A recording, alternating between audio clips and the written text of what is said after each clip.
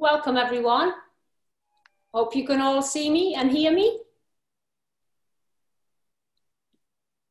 Okay, we'll start. Um, before we get going, I would very much like to thank the Abu Dhabi Early Childhood Authority for actually enabling us to have these programs. This is the first of our session, sessions looking at play and movement for, for children.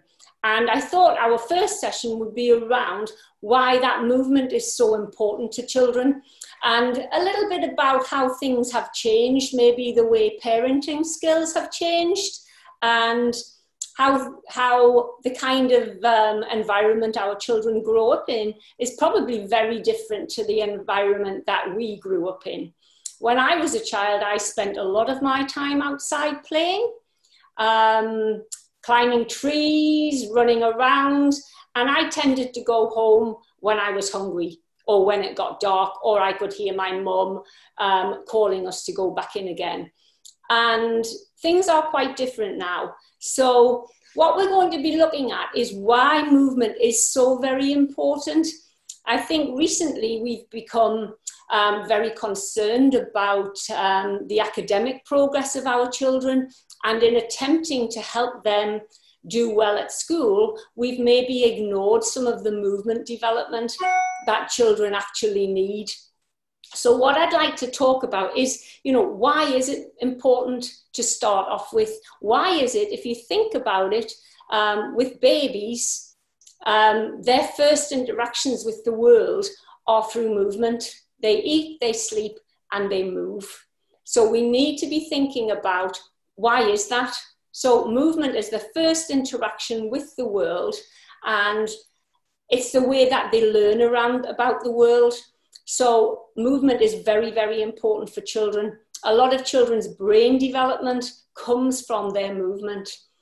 What I'd like you to think about is when your children were very small, how did they first start moving? So, things like they learned, first of all, to lift their head then they learn to be able to push up onto their shoulders. So children's gross development starts, motor skills development starts from their head and goes down to their feet. So think about lifting the head, lifting the shoulders, then being able to sit up like I am with that stability, and then eventually being able to walk. So their motor skills develop from the top down and then they develop from the inside out. So they start moving big parts of their bodies first before they then start um, moving smaller parts of their bodies. So what I'd like us to be thinking about all the time is how that what how that development looks. We have a lot of focus at the moment about movement and about children being obese and not moving as well as they um, might have done, and also some children with increasing mental health pro- uh, problems. Um, and we all know that when we're a little bit stressed, sometimes a bit of movement can actually help us to feel a little bit better. What I'd like to do to just sort of set up how important movement is to our physical health is just show you a short video and then I'm going to just sit quietly for about 60 seconds after that video is finished just for you to um, take in the messages from that video and please use our chat um, button to be asking questions. Um, the more we can interact with me and with each other, the more we can learn. So when we come to asking questions, please, there's never a silly question. Just ask, see what you think. If anybody's got any comments after the video, um, please put those in the chat box too. So if you could play our video, please, now, and just have a look at this to set the scene for why movement is important.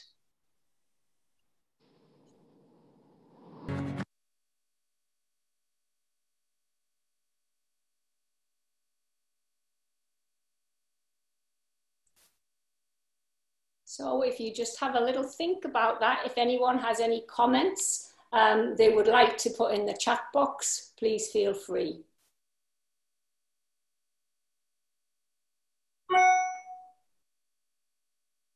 So what we need to be thinking about as parents is why is it so different for children nowadays? What is it that we are doing differently?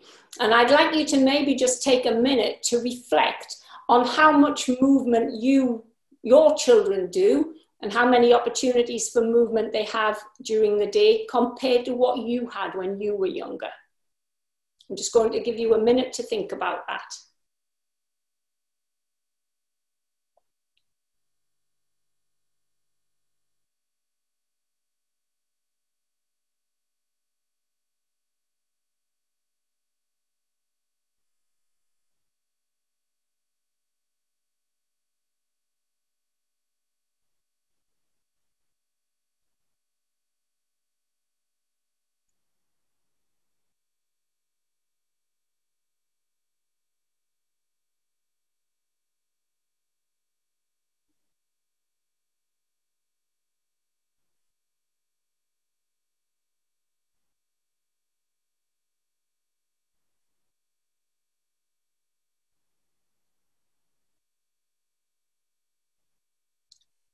Okay, then, moving on.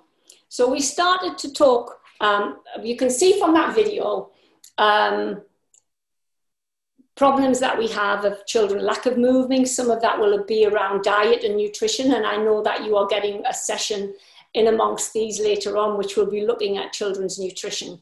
Um, but what I'd like you to think about now is if we're talking about the way children natural development happens, and I think what we've got to be aware of is every child is different. Um, and they might develop at different rates, but they will develop in the same way. So the motor skill development follows the same process for all children, even though it might be at different rates.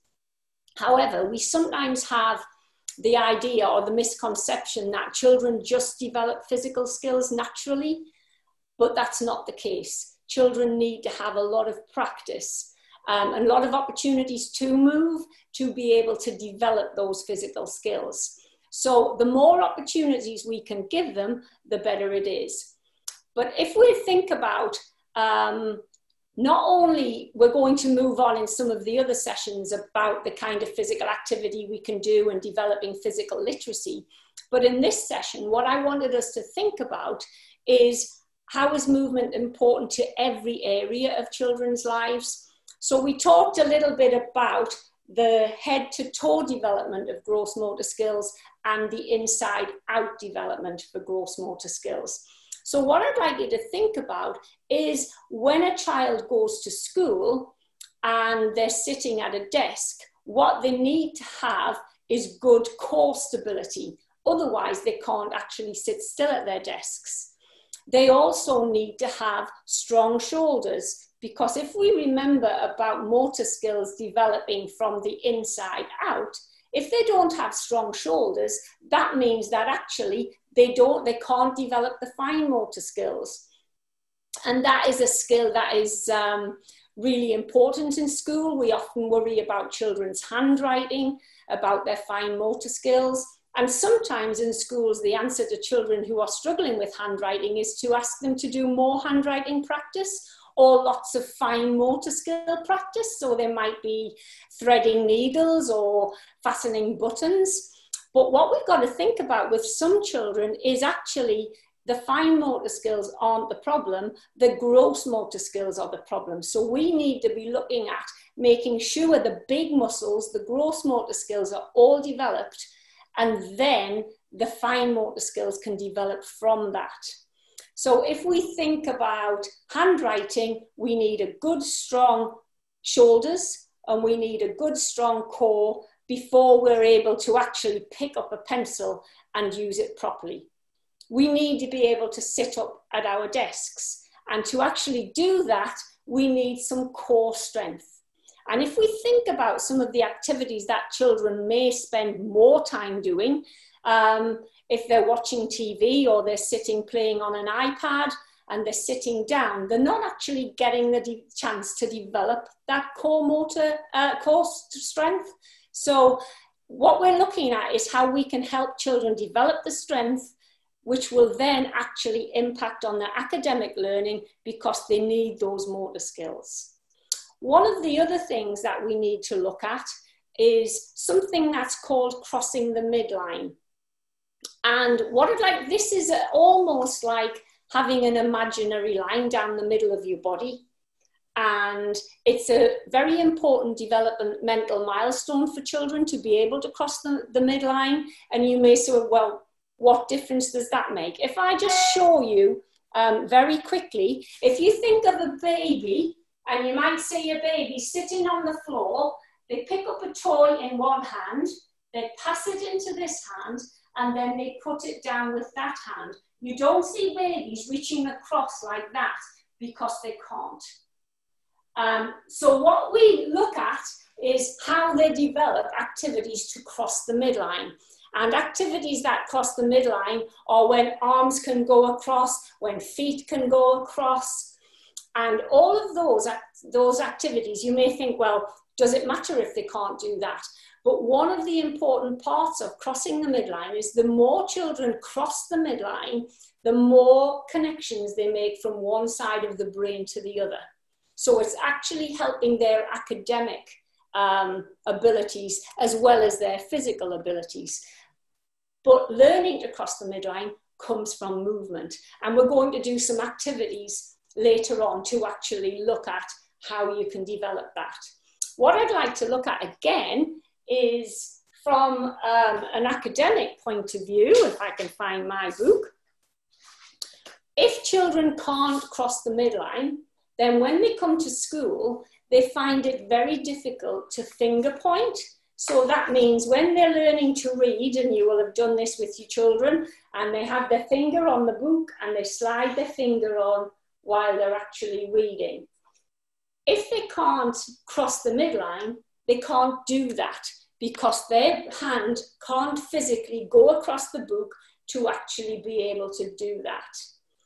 If their hands don't cross the midline, neither do their eyes. So they're able to read one page and then they have to turn their head to read the other page. And actually, after a lot of to and froing, they get sore necks. So they're actually getting a little bit of, mm, I don't like reading because it makes my neck tired.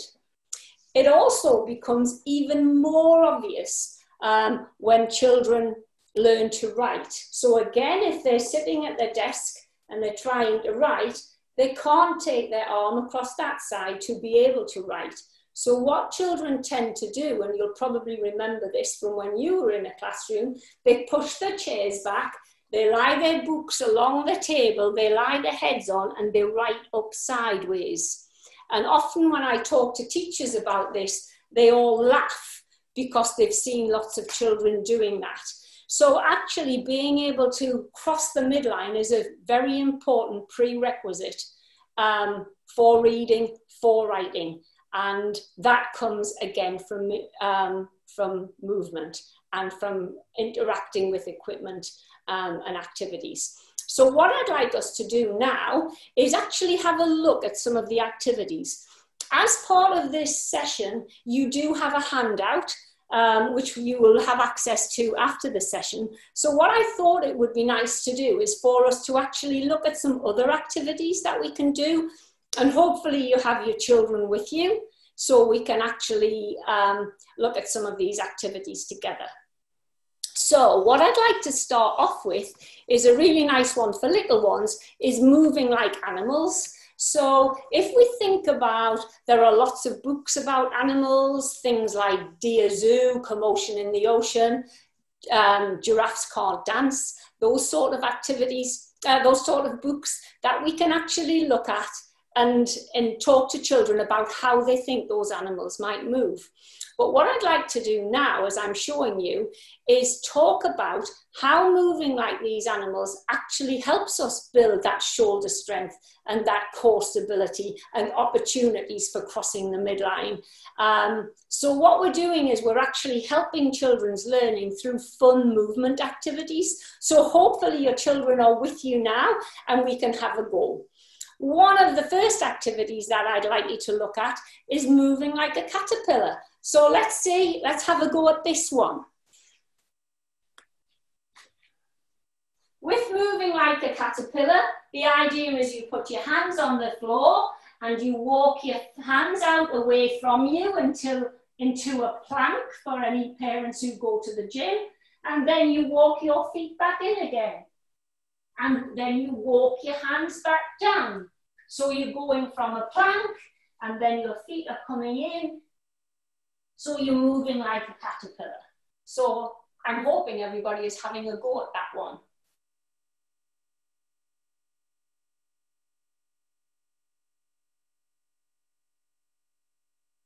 let's have a look at a seal walk. To do a seal walk, um, you need to have just socks on, um, no shoes. So a seal walk is pretty much looking at the same position that we looked at before with the plank position, but you turn your feet underneath. So I'll just show you.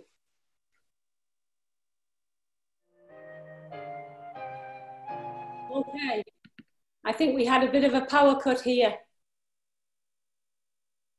Can everyone hear me again? I hope so. So we've looked at a caterpillar walk, we've looked at a seal walk.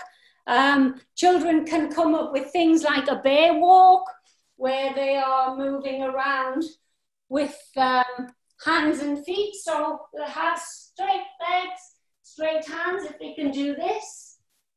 Walking along, so again, taking weight on their shoulders, building up their core stability. Um, children can come up with some of their own. And from my point of view is, as a parent, is just thinking about, let's have a look at some of the games children can play, moving like animals. Are they building up their core strength? Are they building up their shoulder stability? Um, let's have a look at another one. This one I like to call the snake charmer. So with this one, if you can ask the children to lie down on their backs with their knees bent.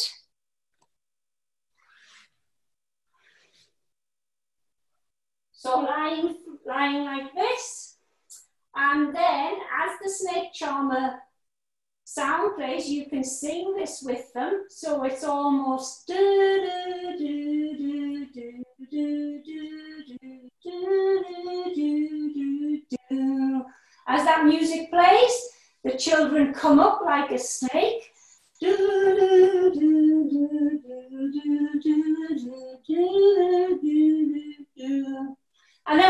to the top, most of the younger children like this, they can stick their tongue out and hit.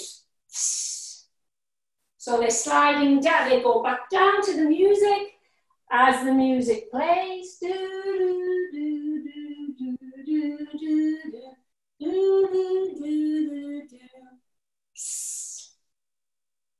Another one fills up their, um, their core stability. Another nice game for children, and with this one, they don't actually realize that they are um, using their core stability and their shoulder strength. If you can get a small table tennis ball and put that on the floor, um, and you could play this with your child, or if they're siblings, you can have them both playing. Each child has a line, you can draw that with a bit of chalk or a bit of masking tape, and a table tennis ball. And the idea is that they have to bend down to blow the table tennis ball across the line and come back up again.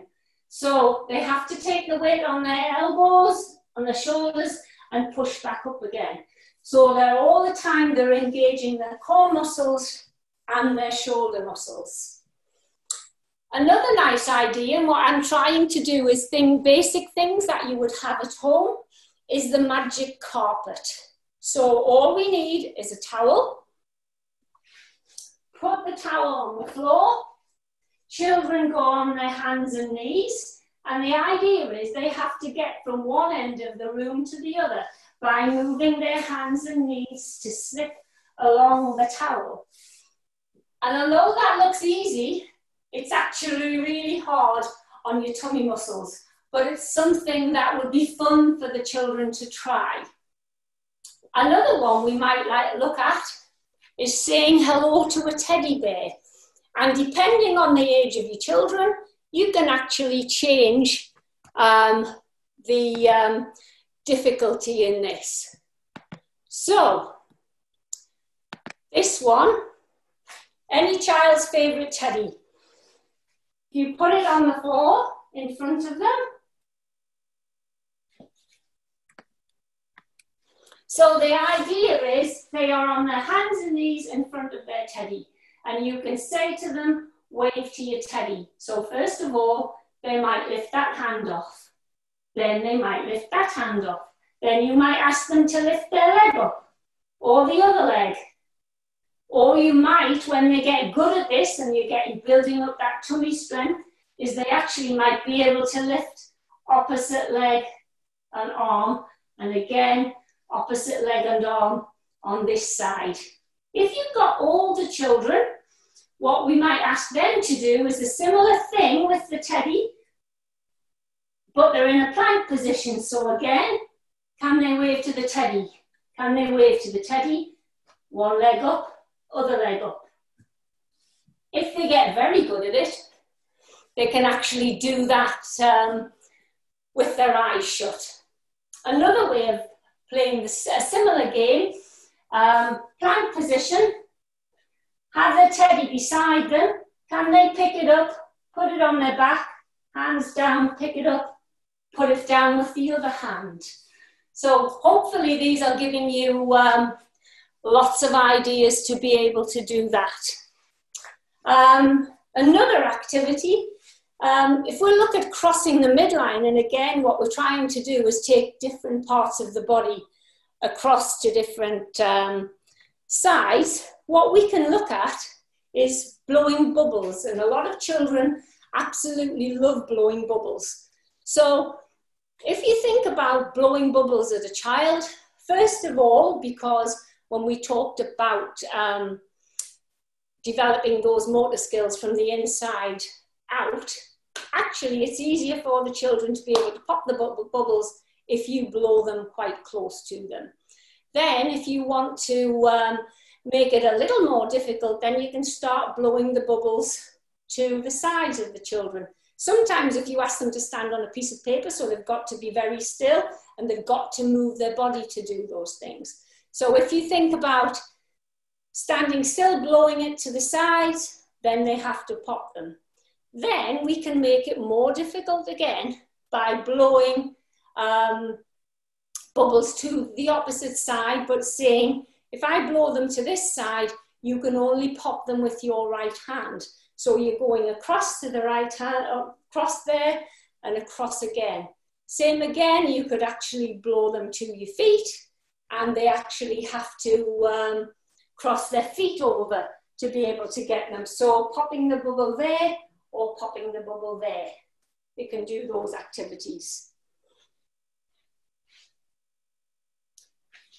another activity that looks at um, crossing the midline could be say if you've got you could do it with your child or you could do it with siblings and they sit back to back have a ball and they have to pass a ball from one side to the other so that actually helps cross the midline sometimes we're quite um, used to doing we do lots of activities where we go under over with a ball passing it down a line but if we go under, over, side to side, passing it down the line, then children are actually getting that um, crossing the midline again. If we then throw um, roller ball or again with the bubbles, what we've actually got there is children actually having to follow a bubble in the air or follow a ball along the ground. And what that's doing is actually developing their visual tracking. And by developing their visual tracking, what we're actually doing is helping them when they get to school to be able to track print across a page. What we're also looking at is the more children move around and they get used to where they are in space, then they actually start understanding direction and a sense of direction which helps them when they come to write with their up and down in their writing, right to left writing, left to right writing. Um, and it just gives them an idea of where they are in space. It helps them mathematically. If children are moving backwards, they're more likely to be able to understand the concept of subtraction. So all of these things that we might have taken for granted, moving around like an animal, that children might just do for fun, what we're looking at is actually it does have a big impact on their brain development and their academic development. And sometimes what we've done is try to actually make things go very quickly with children and we're very concerned about them being able to write their name. And although that is, for example, it is a very important milestone, there are a lot of things around play and activities that children should be doing way before we worry about them being able to have a pencil and being able to write their name. Um, let's think of some other activities we could do. Um, things like a skipping rope. What we can look at with a skipping rope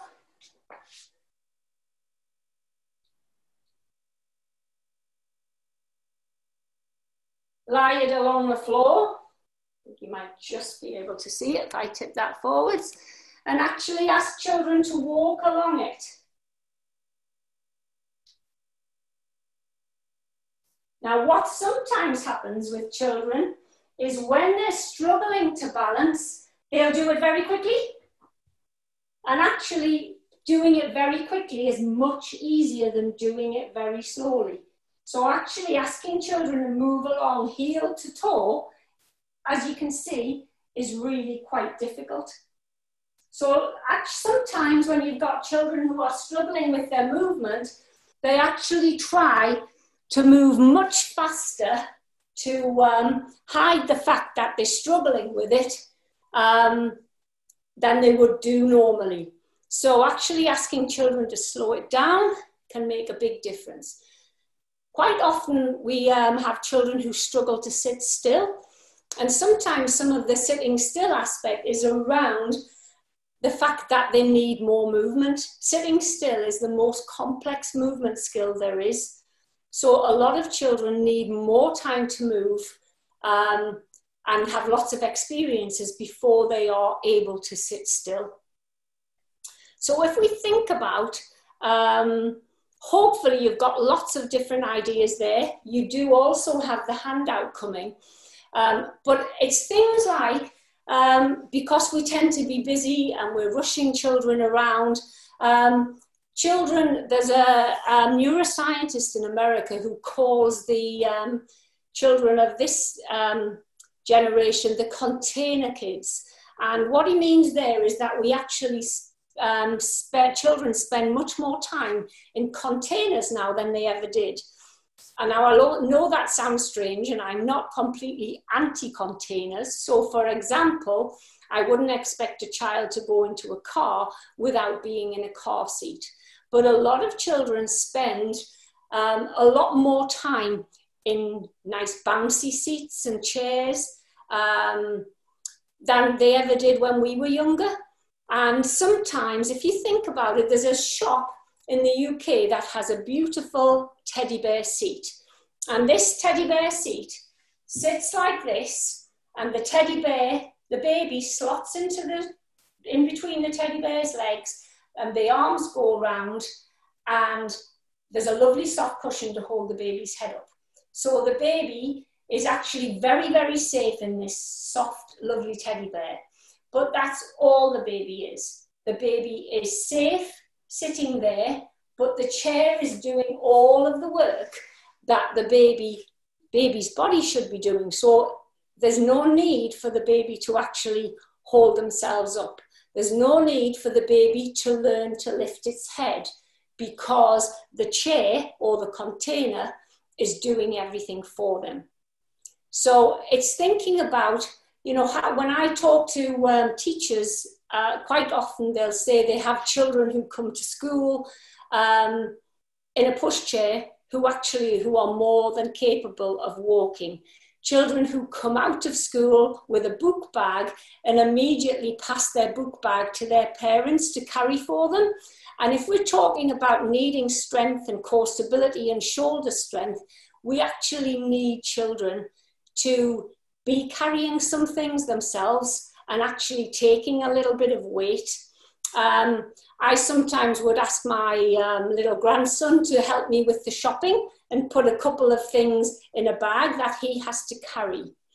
What's also sometimes a nice activity is when you come home from um, being grocery shopping is actually asking the children to put it, put it away for you. So picking them up and carrying something and something like flour or sugar is actually quite heavy. So looking at how you could do that with children and um, following activities that you would normally do um, at home, but actually asking the children to do them with you can make a big difference. Um, another thing that I'd like you to think about is are your children battery or free range?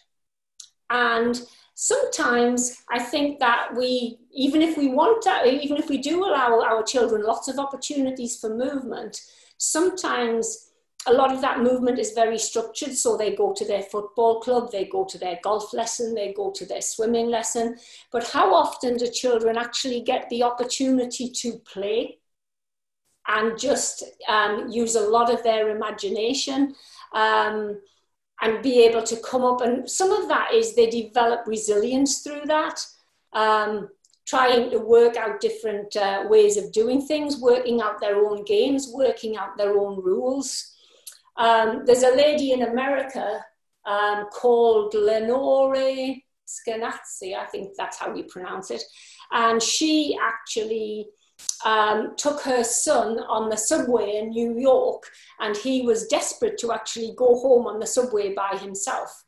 And when he was nine, she took him to the subway. They got this subway every day, so the child was very um, comfortable in knowing how to get home.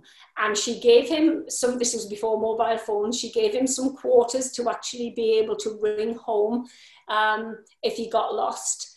And he she left him there and he got home by himself and was very, very proud of having done that.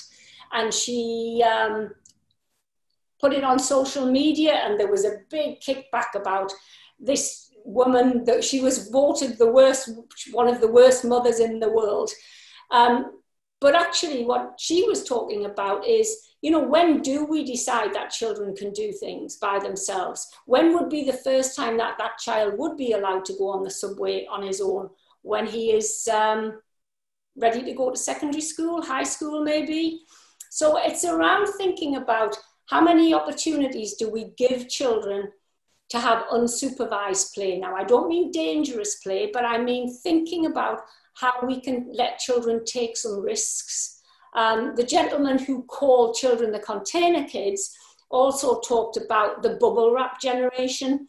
Bubble wrap generation brought up by helicopter parents because we run around after them and they climb on climbing frames and we're saying, don't go too high, don't go too high and we don't let them do um, a lot of things. We're frightened of them hurting themselves. So it's around thinking about what opportunities do your children have um, to do activities where you want that, that aren't totally structured, where they have to use their imagination, where they have to interact um, with other children. Um, and make up their own rules and sort out their own problems without actually having an adult sorting it out for them.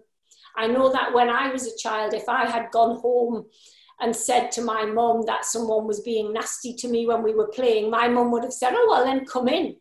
But I would much rather have stayed playing with my friends. So I would fight my own battles and um, find a way of compromising uh, cooperating with my other, with my peers, which helps my social skills as well.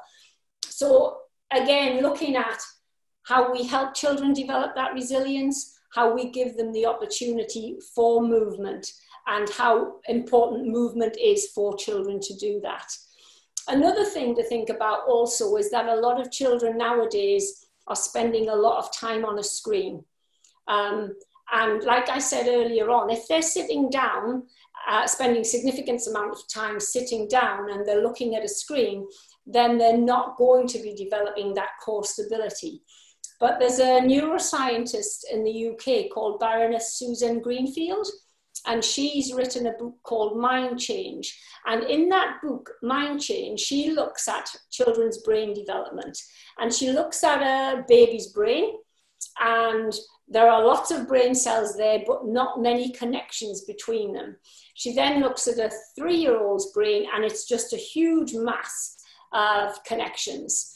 And if the more a child interacts with the world, and in general, it's through movement at that age, the more connections they make.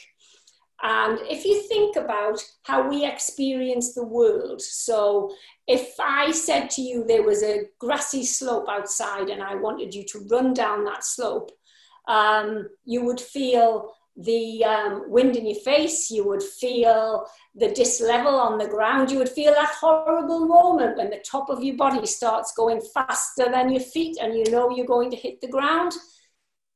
But you would experience the world through those five senses.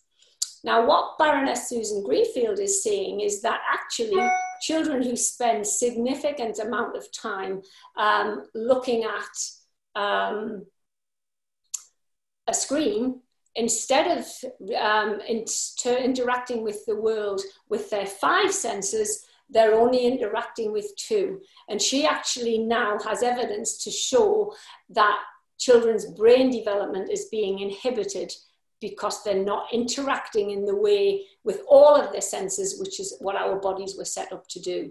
So some of it is going back to think about we've made progress in a lot of ways, but some of the progress with our electronic gadgets, our bodies and our brains haven't kept up with that. And we're actually going against child development so one of the best places for a child, when we talked about containers, one of the best places for a child is lying on their tummy on the floor, a bit of tummy time, um, which is what our grannies used to do. So some of this is around thinking about um, what can I, what can we do with children? We're very, very busy, but if we can take the time to help the child do their own buttons, or carry their own, undo their own zips and coats, um, rather than having to rush them out to do that. And I appreciate that in a busy world, sometimes we do do that.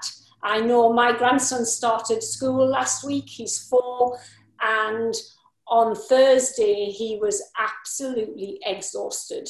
Um, suddenly going from being at home to spending full days in school on the Thursday morning, I had been lying his clothes out and helping him get ready. And on the Thursday morning, he just sort of stood there. And I knew he was never going to get to school on time unless I helped him dress.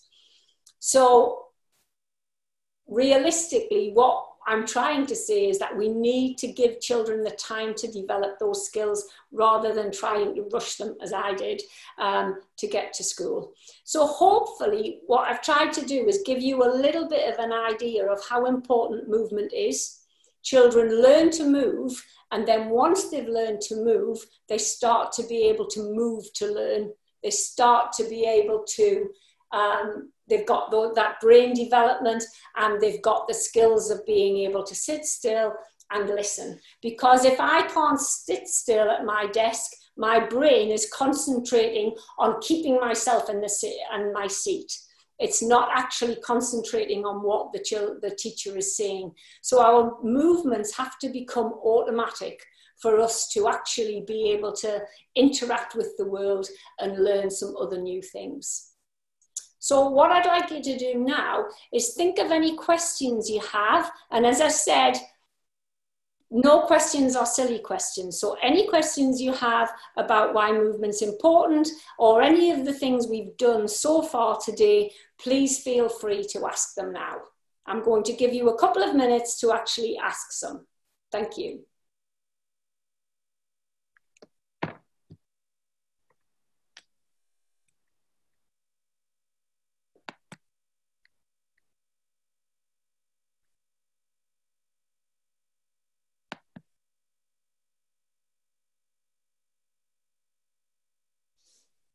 Okay, these realistically, um, so the question is about can these be implemented from any age?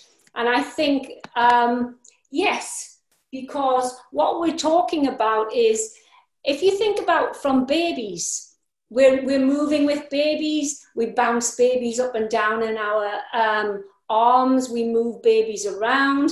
And actually, by doing that, we're building up their vestibular systems, we're helping them learn about balance. Um, lying on their tummies, you know, if tummy time is very important for children.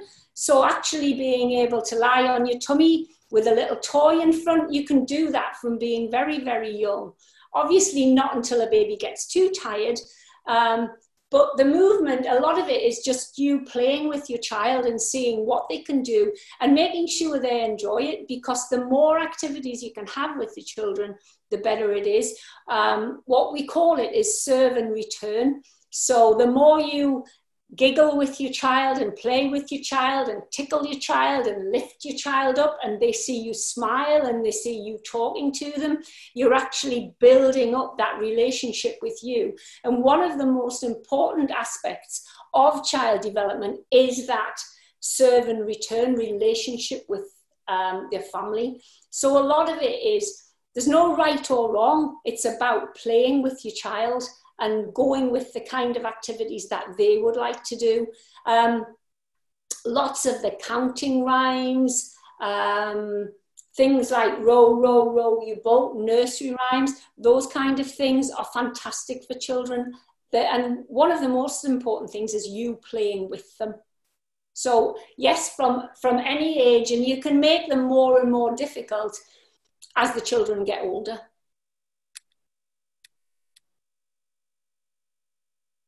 So well done for asking that question. Any more?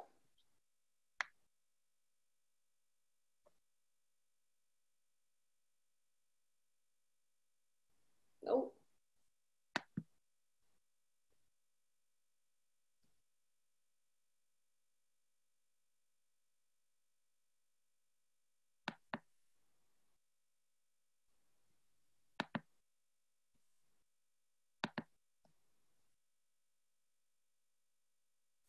Okay, for finger grip. Um, first of all, with the finger grip, going back to what we were seeing before, one of the most important things for the finger grip is making sure that you have good, strong shoulders first. So a lot of those little activities that we were doing will actually help children with the finger grip. Um, lots of activities. Um, I sometimes do an activity where you can um, ask the children. Some children find this hard, for, certainly for um, early on. And I sometimes put those little coloured dots on my fingers. So I might go red, green, blue, yellow, red, green, blue, yellow. And then I say, touch the red, touch the blue, touch the green, touch the red, touch the green. So they're getting lots of practice of moving um, their fingers. Another one that is nice with that is playing with Play-Doh.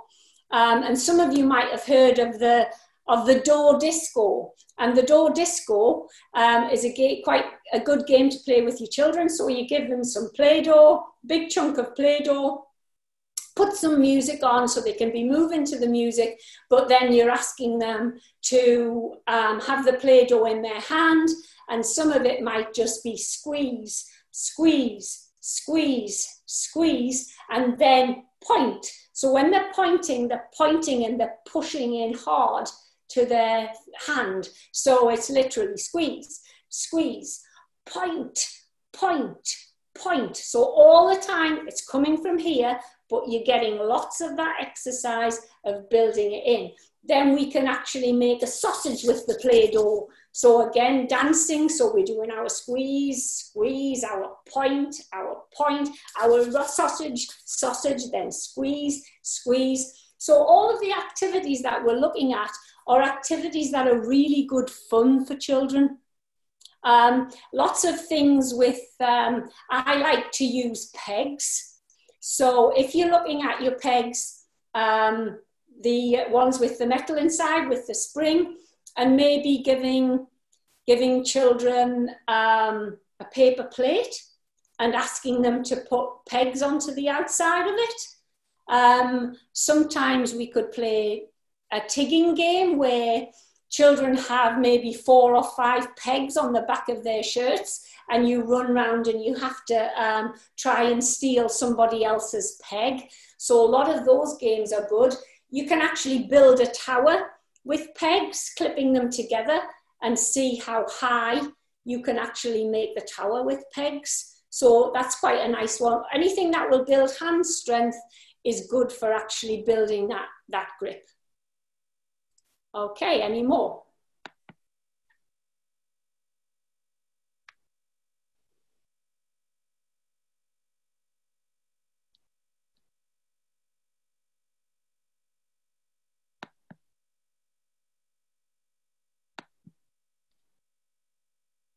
I think for me, one of the most important things is, like I said, is about playing with your child, taking it as much time as you can to play with the child.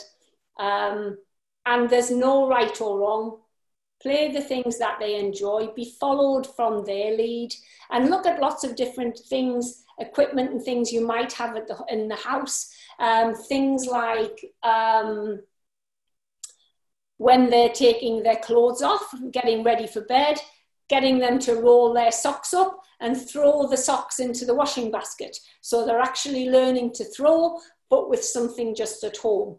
Um, another nice activity, I have a, a scarf here, a juggling scarf. And so with this one, you can do all sorts of things. So if I just show you, if we get the juggling scarf, if I'm doing that, making a big figure of eight shape, immediately you can see that I'm actually crossing the midline. So I can cross the midline with that hand, I can cross the midline with this hand. Then I can do things like um, make a big circle. So I make a circle, but then you might ask the children to make it even bigger. So you've got a bit of a squat going on there, so they're building their strength. So we can do it in this side. But again, we're then learning about shapes. So we've made a circle, we could make a square. We could make a triangle. We can pass it around our bodies. We can balance it on our bodies and try and move without dropping it. We can throw it and catch it. And the nice thing about um, bits of equipment like this. Now, this is a juggling scarf, but any piece of fabric, the, the sheerer the fabric, the better it is. Um, if you throw that up in the air, it takes a long time to actually come down again. So for a young child, they've got lots of time to think about where am I putting my hand to be able to actually catch something. And again, that goes back to the visual tracking. Children watch and that helps their eyes then be able to learn about looking at print on a page. So lots of things that you have in the home, lots of nursery rhymes, and just getting the children to move around. Um, even just putting a little bit of music on, um, looking at how they might move, um, like different animals, or just putting the music on. How, do, how does that make you feel? And what we're going to look at in one of the other sessions is looking at physical literacy, and we're going to be looking at um, developing stability, locomotion, and object control, um, which again will give us lots of different activities. And every week we'll develop um, more and more activities for you to actually do with your children. And what we'd also like you to do is you know, I've given you some ideas. You've got some ideas on the handout, but I'm sure that between this session and the next session, you could actually, with your child, come up with some um, activities of your own that we can all share. And then we can maybe put them into the chat box and actually collate some others. So you've got lots of different activities that you can do with your children. So any more questions? I'm sure we could have, we've got five minutes left. I'm sure we could come up with um, some more.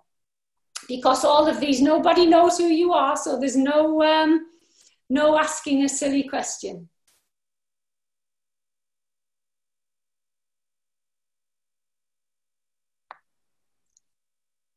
One of the things that parents often ask me is, um, they get very concerned about developmental milestones with children. And, but like I said, what we've got to be thinking about with children is stage, not age. So I wouldn't be saying, oh, your child needs to be able to do this at this age and needs to be able to do that at this age. But they do develop in a, a specific way. So it's actually looking at where your child is, not looking at other children who, who might be the same age but are at a completely different stage. But one of the most important things is actually giving your child practice and doing it over and over again. Can you remember how annoying it was when your child first discovered that they could leave go of something? So they'd be sitting in their high chair and they drop it. And the first time you do it, you think, oh, and then you pick it up and they do it again. And at first you laugh, but after a few times you're thinking, oh. But instead of thinking, oh no, I've got to pick that up again, what we need to be really happy about is that child knows how to pick something up and is now making a conscious decision to drop it. So we've got developing those motor skills. So all of those little things that children are learning and they want to do it again and again and again, that's where they're developing those pathways in the brain. And like I said, for all of us, movement needs to become automatic. So if I think, you know, when was the last time you thought about how you walk? You don't because it's automatic. But for a little one who's a year 12 months who's cruising around the furniture, all their body is focused on at that time is learning how to walk. But what, so our body prioritizes that movement so that we get the automaticity over our body so that we can then free up our brain space to concentrate on the other things that are very important to us. So, like I said, we, we through this movement, we were able to sit still. By being able to sit still, we're able to concentrate and we're able to listen to our teachers. If you think about having a fantastic artist, they wouldn't be able to paint any sort of landscape if they didn't have a stable base. It would be like asking them to paint something, a masterpiece, while sitting on a rowing boat on a choppy lake. If they're wobbling all over the place, they can't do it. And it's the same for our children. We actually need to give them that control over their body until they can start um, then concentrating on other things. So I hope that's given you um, a few things to think about. As I said, please come up with any ideas um, of things that you've tried with your children between this session and the next session and share them in chat because all of us are always looking for new ideas. I get some of my best ideas from parents who are actually playing with their children um, and just having fun. Find out what your children like uh, and come back to us. So thank you very much, everyone. Keep asking any questions if there are any more. I'm here for another minute or so, I think.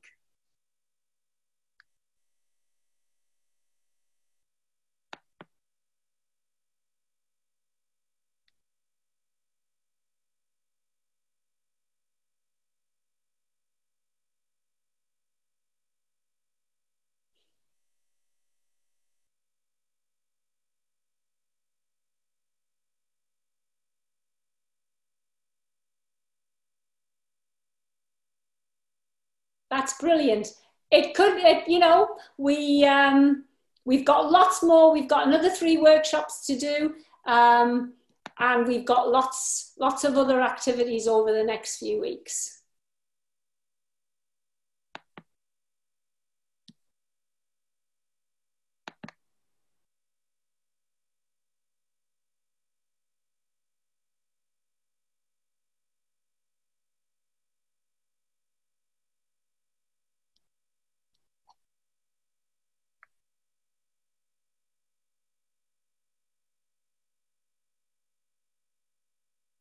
Is that us all done?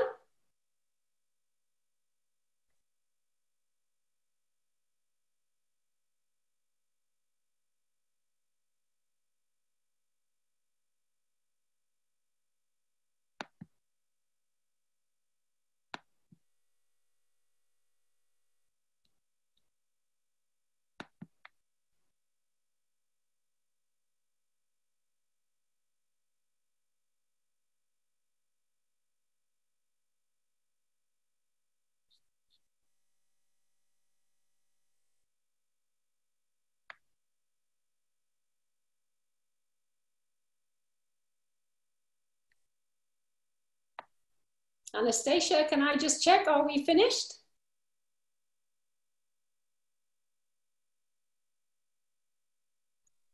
Yes, Lesley. Yeah. Thank you very much. Okay, was that okay? I'm sorry about that connection. I think we had a power cut.